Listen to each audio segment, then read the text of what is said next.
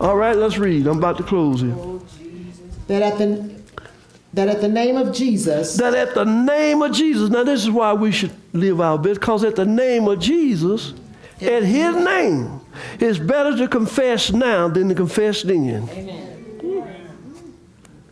Because the Bible said that every tongue will do what? confess Every tongue will confess, that Jesus Christ is Lord. Gonna confess that he's your Lord, although he will not be your Lord. But you you will acknowledge the fact. You know why Jesus went back, why why when Jesus went back from the cross and preached in the day, days of Noah, he went all the way back to the old world, the people that had died on the flesh, in the, uh, on, in the flesh, in sin. You know why he went back? He didn't go back to save them. I heard somebody say, well, he went all the way back and his grace saved those that was on. No, he did not save them. He went back to prove that Noah was right. He went back to let them know what they could have had. he didn't save not one of those persons that rejected Noah. How they gonna repent when they was dead? Already, a, already a spirit, living spirit. He didn't go back. I heard one theologian say, "Yeah, he went all the way back."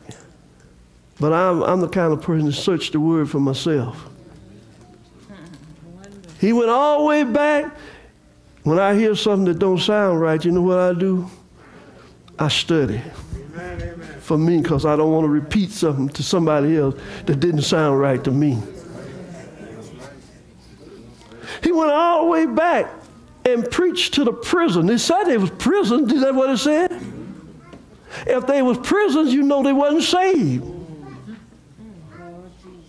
They was already, pri- but he proved to them, and I'm sure the scripture didn't say it. If you have, I haven't found it. They had to confess his name. He let them know now Noah was up here preaching, it's going to rain, it's going to rain, and you didn't believe him. But now I'm here to prove that he was right. So every knee, every knee, every knee shall bow, every tongue shall confess. Finish reading that. That at the name of Jesus, every knee shall bow. All right. Things in heaven and things in the earth. And under the earth. Under the earth. Things in hell. Not getting away. When I'm dead, I'm done. So while I'm living, let me have some fun. Oh, Jesus. When you're dead, you, you're not done. You just begin to live eternally.